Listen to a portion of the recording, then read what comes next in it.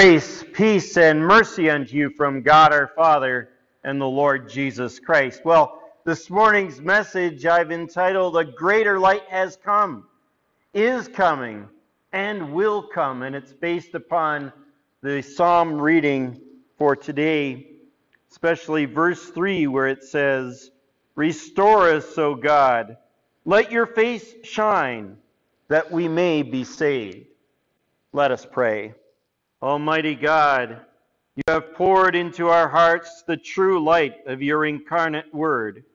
Grant that this light may shine forth in our lives through the same Jesus Christ, your Son, our Lord, who lives and reigns with you in the Holy Spirit, one God, now and forever. Amen. Well, it's dark outside. Families are putting up Christmas lights early to offset the gloom. Of course, the gloom has always been with God's people, so that the psalmist in today's appointed psalm for the day sums it up so well, saying, complaining to God even, You have fed them with the bread of tears and given them tears to drink in full measure.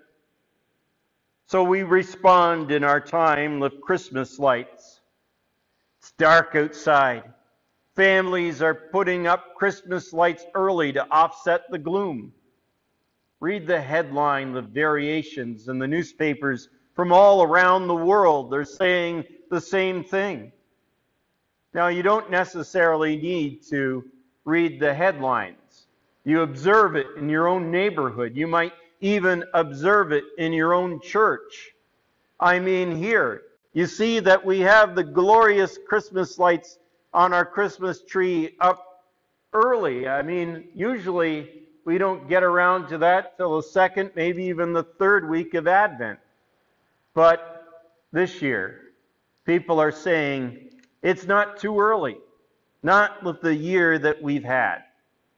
My own family, is also swept up into this culture, but maybe not as early as some, where the pumpkin across the road was thrown into the green bin the morning of November 1st, and Christmas lights went up that very afternoon.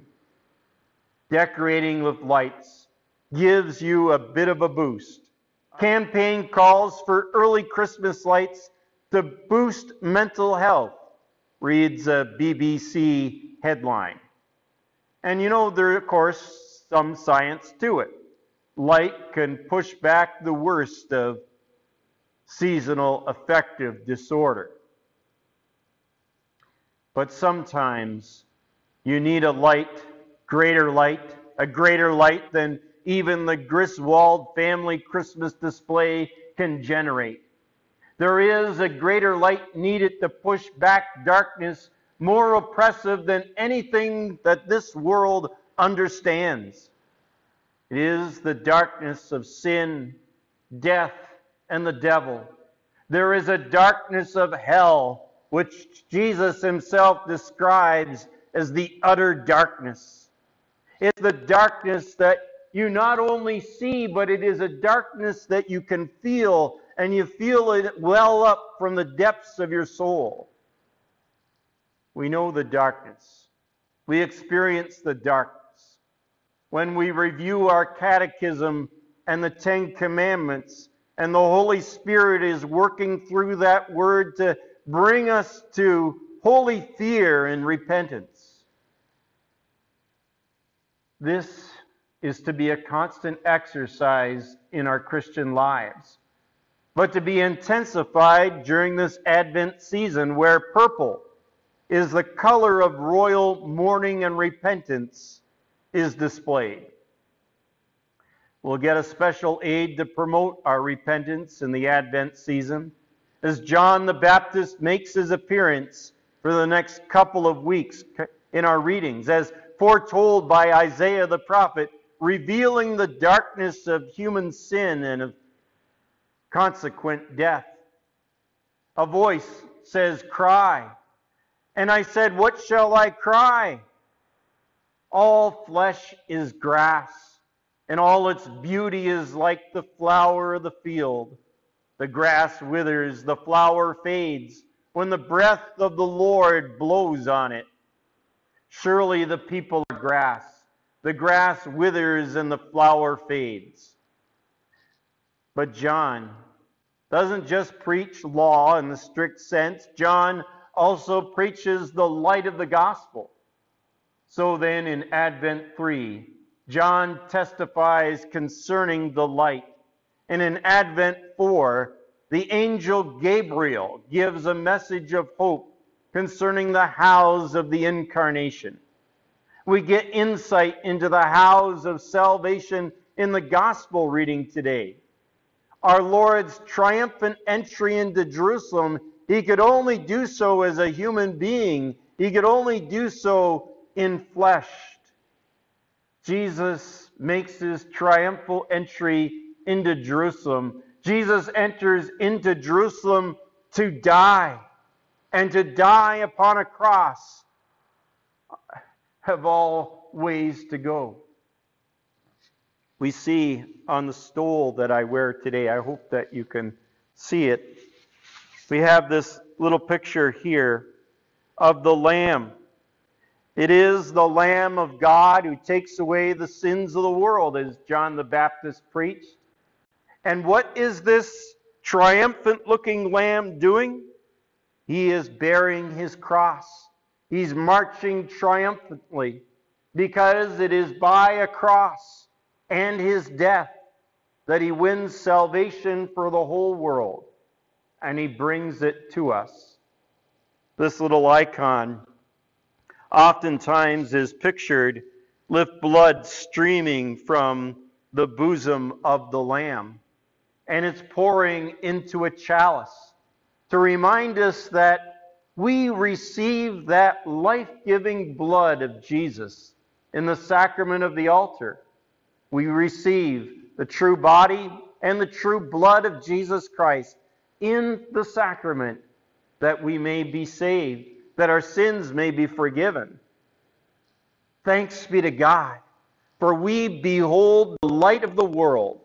A greater light has come. A greater light is coming now, and a greater light will come in the future. How our Advent hymns lead us to sing of such light which is everlasting, meaning that the light has already come, is coming continually, even today, and shall come into an eternal tomorrow.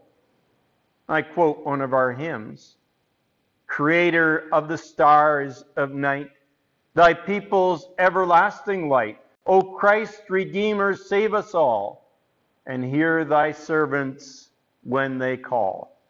We confess Jesus is our everlasting light in the Nicene Creed, begotten of his Father before all worlds God of God, light of light, very God of very God, begotten, not made, being of one substance of the Father, by whom all things were made.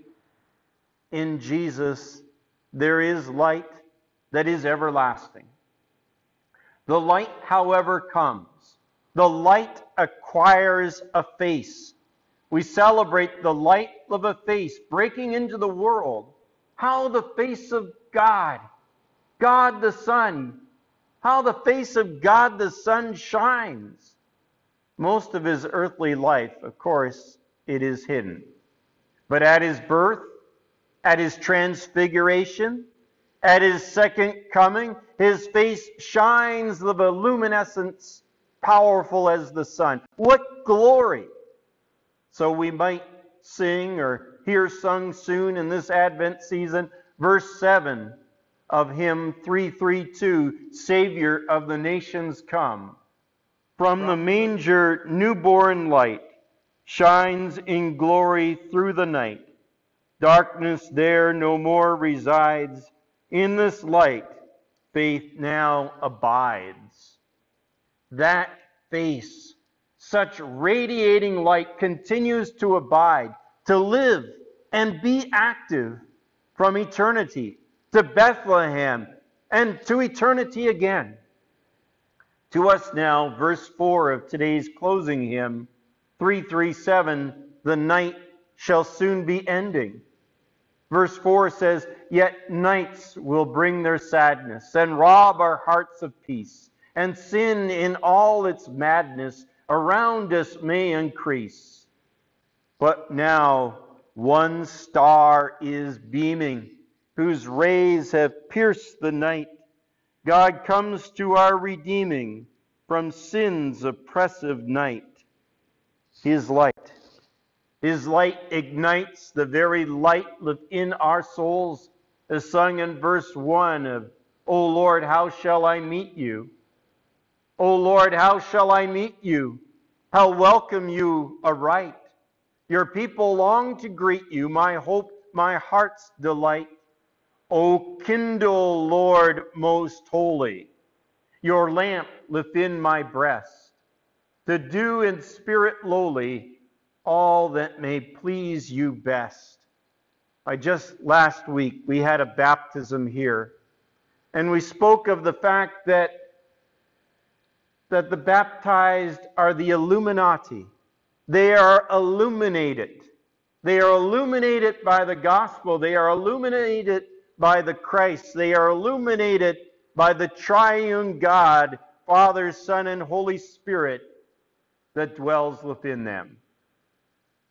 And then we think of the light as the light returns, coming as judge on clouds of light as we sing the advent of our King. As judge on clouds of light, he soon will come again, and his true members all unite, live him in heaven to reign. Advent.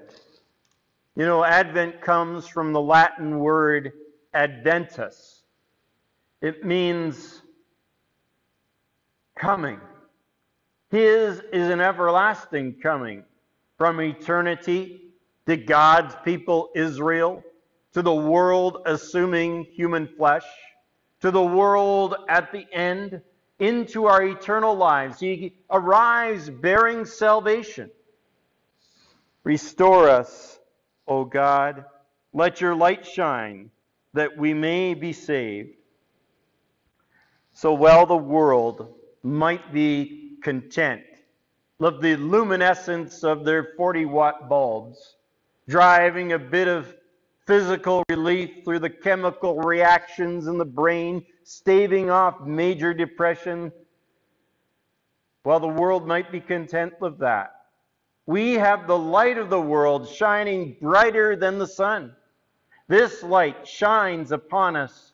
This light bears salvation.